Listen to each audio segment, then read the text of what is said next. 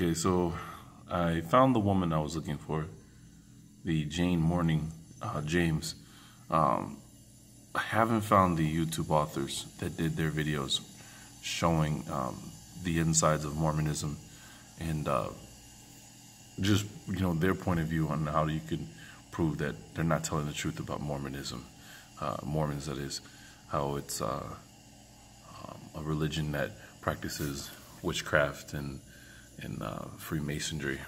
Um, so I'm still looking for it, but uh, I did find the woman, um, and maybe uh, by doing this, someone else has seen the video I'm talking about, and the author, this man and woman that you know break this stuff down, and because uh, they were pointing out that the way that they tell it, this woman was just a um, someone that came into Mormonism uh, after it was already founded um, but as these people were explaining, um, the ones I'm looking for, they were explaining that, in fact, when Joseph Smith was at his in-laws' house, and his father-in-law would not allow him to have the stones that he found, the gold plates, in in the house, um, he was using his slave girl to translate the plates while she was living in her own little hut away from the Joseph Smith and his in-laws and that's how he was able to translate it while you know he stayed nice and warm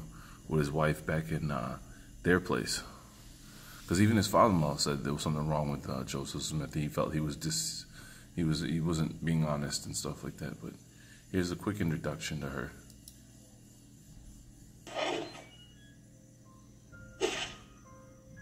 I want to tell you a little bit about Jane Elizabeth Manning James. Jane and her family meaning her brothers and sisters, had all joined the church in a place called Wilton, Connecticut. They went to Buffalo, New York, planning on. oh, she didn't say it, but um, when you, I believe the Wikipedia piece in here, she was actually free. Her and her family were free people living in Connecticut, of all places, right? During the time this was going on, uh, free people. Didn't have a slave master. Didn't have you know, slave owners. Could read and could write and you can hear what uh, what I mean by she could read and write is listen to what she writes towards the end of her life. Taking a steamship to Nauvoo, and they were denied passage. Their luggage was accepted, That's but theft. they were not.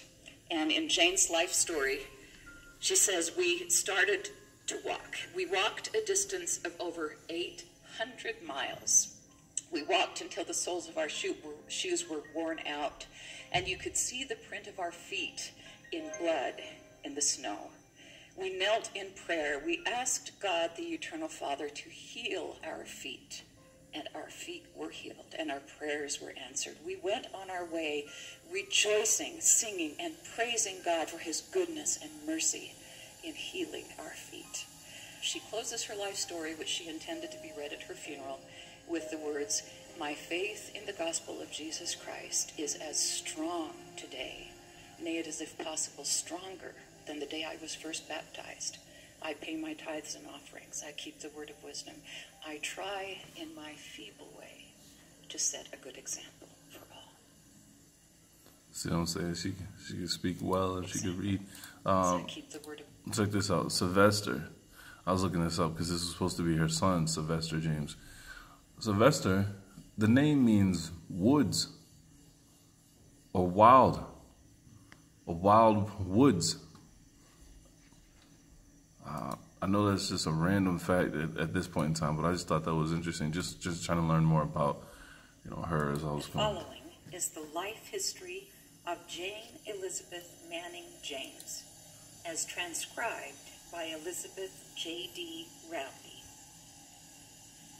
When a child, only six years old, I left my home and went to live with a family of white people. Their names were Mr. and Mrs. Joseph Fitch. They were aged people and quite wealthy. I was raised by their daughter. When about 14 years old, I joined the Presbyterian Church, yet I did not feel satisfied. It seemed to me there was something more that I was looking for. I had belonged to the Presbyterian Church about 18 months, when an elder of the Church of Jesus Christ of Latter day Saints, who was traveling through our country, preached there. I went on a Sunday and was fully convinced that it was the true gospel he presented, and I must embrace it. The following Sunday, I was baptized and confirmed a member of the Church of Jesus Christ of Latter-day Saints. One year after I was baptized, I started for Nauvoo with my mother, Eliza Manning, my brothers, Isaac Lewis and Peter, my sister, Sarah Stebbins and Angeline Manning, my brother-in-law, Anthony Stebbins, Lucinda Manning, a sister-in-law, and myself in the fall of 1840. We started from Wilton, Connecticut, and traveled by canal to Buffalo, New York. We were to go to Columbus, Ohio, before our fares were to be collected, but they insisted on having the money at Buffalo and would not take us further. So we left the boat and started on foot to travel a distance of over 800 miles. We walked until our shoes were worn out and our feet became sore and cracked open bled until you could see the whole print of our feet with blood on the ground. We stopped and united in prayer to the Lord. We asked God, the Eternal Father, to heal our feet. Our prayers were answered, and our feet were healed forthwith. When we arrived at Peoria, Illinois, the authorities threatened to put us in jail to get our free papers. We didn't know at first what he meant, for we had never been slaves, but he concluded to let us go. So we traveled on. Hear that? They didn't know what they were talking about. They had never been slaves. Did you hear that? That's incredible. Living in Connecticut. The whole time. They didn't know not, nothing about no slavery. Until we came to a river. As there was no bridge, we walked right into the stream. When we got to the middle, the water was up to our necks, but we got safely across. Then it became so dark, we could hardly see our hands before us, but we could see a light in the distance, so we went toward it. We found it was an old log cabin. Here we spent the night. The next day we walked for a considerable distance and stayed that night in a forest out in the open air. The frost fell on us so heavy it was like a light fall of snow. We arose early and started our way walking through that frost with our bare feet until the sun rose and melted it away. But we went on our way rejoicing, singing hymns, and thanking God for his infinite goodness and mercy to us in blessing us as he had, protecting us from all harm, answering our prayers, and healing our feet. In course of time, we arrived at La Harpe, Illinois, about 30 miles from Nauvoo. At La Harpe, we came to a place where there was a very sick child. We administered to it, the child was healed I found after that the elders had before this given it up, as they did not think it could live. We had now arrived to our destined haven of rest, the beautiful Nauvoo. Here we went through all kinds of hardship, trial, and rebuff. But at last we got to Brother Orson Spencer's, and he directed us to the prophet Joseph Smith's mansion. When we found it, Sister Emma was standing in the door, and she kindly said, Come in. Brother Joseph said to some white sisters that was present, Sisters, I want you to occupy this room this evening with some brothers and sisters that have just arrived. Brother Joseph placed the chairs around the room, and then he went and brought Sister Emma and Dr. Bernhisel and introduced them to us. And Brother Joseph took a chair sat down by me and said, You have been the head of this little band, haven't you? I answered, Yes, sir. He then said, God bless you. Now I would like you to relate your experiences in your travels. I related to them all I have stated above, and a great deal more minutely as many incidents has passed from my memory since then. Brother Joseph slapped Dr. Bernhisel on the knee and said, What do you think of that, doctor? Isn't that faith? The doctor said, Well, I rather think it is. If it had been me, I fear I should have backed out and returned to my home. Joseph Smith then said, God bless you. You are among friends now, and you will be protected. They sat and talked to us a while, gave us words of encouragement and good counsel. We all stayed there in the mansion house one week. By that time, all but myself had secured homes. Brother Joseph came in every morning to say good morning and see how we were. Well, during our trip, I had lost all my clothes. They were all gone.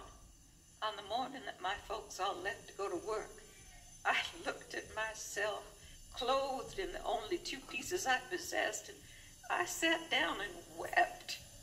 Brother Joseph came into the room as usual and said, Good morning. What? Not crying? Yes, sir, I said. Folks have all gone, got themselves homes, and I haven't got none. He said, Yes, you have. You have a home right here if you want it. You mustn't cry. We dry up all tears here. Brother Joseph went out and brought Sister Emma in and said, Sister Emma, here's a girl that says she has no home. Haven't you a home for her? Why, yes, if she wants one. He said, She does. And then he left us. Sister Emma said, What can you do? I said, I can wash, iron, cook, do housework. She said, when you are rested, you may do the washing if you would just as soon do that. I said, I'm not tired. Well, she said, you may commence your work in the morning. The next morning, she brought the clothes down in the basement to wash. Among the clothes, I found Brother Joseph's robes. I looked at them and wondered as I had never seen any before, and I, I pondered over them and thought about them so earnestly that the Spirit made manifest to me that they pertain to the new name that is given the saints that the world knows not of. I had to pass through Mother Smith's room to get to mine, and she would often stop me and talk to me. She told me all of Brother Joseph's troubles and what he had suffered in publishing the Book of Mormon. One morning, I met Brother Joseph coming out of his mother's room. He said, Good morning, and shook hands with me. I went to his mother's room. She said, Good morning. Bring me that bundle from my bureau and sit down here. I did as she told me. She placed the bundle in my hands and said, Handle this, and then put it in the top drawer of my bureau and lock it up. After I had done it, she said, Sit down. You remember that I told you about the Urim and Thummim when I told you about the Book of Mormon? I answered, Yes, ma'am. She then told me I had just handled it. You are not permitted to see it, but you have been permitted to handle it. You will live long after I am dead and gone. And, and that part always makes me curious. Why? Why would they randomly select for her to touch these stones? Is there some type of passing of her consent, the native person, to to these stones. Something, you know what I'm saying? Yeah, just think about it. Why do they randomly, or what they seem is random, choose her to be the one leave in the house? You know what I'm saying with them when they got out there. It's just it's just interesting. Like it, it makes you think, right? You can tell the Latter Day Saints that you was permitted to handle the Urim and Thummim. Sister Emma asked me one day if if I would like to be adopted to them as their child. I did not answer her. She said, I will wait a while and let you consider it. She waited Adopted as their child, she huh? asked me again, and when she did, I told her, "No, man, because I did not understand or know what it meant.